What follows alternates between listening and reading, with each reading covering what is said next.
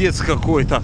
Мы не должны сидеть, засунув палец в жопу, иначе говно упадет кучно и, блядь, обильно на вентилятор. И это будет полный охуеть. Побежали.